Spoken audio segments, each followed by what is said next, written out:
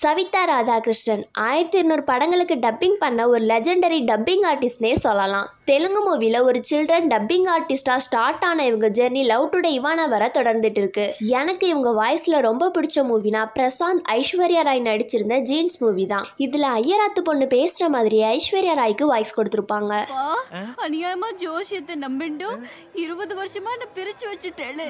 எவ்வளோ ரிஸ்கான வாய்ஸை கூட நீட்டாக ப்ரெசென்ட் பண்ணியிருப்பாங்க அதெல்லாம் அப்புறம் பார்க்கலாம்ப்பா. முதல்ல உருட்டுப்பா உருட்டு உருட்டு.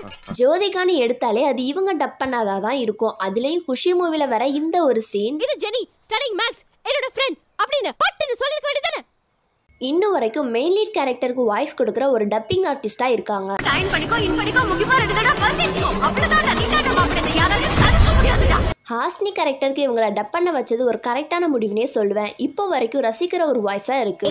நல்லா தானே பேசுற? உனக்கு பிடிச்சதை நீ செய்யற அதான் பிடிச்சிருக்கு. விஷால் நடித்த சண்டைக்கோழி மூவில ரக்கட் கேர்ள் கேரக்டரான மீரா ஜாஸ்மின்க்கு வாய்ஸ் கொடுத்துருப்பாங்க.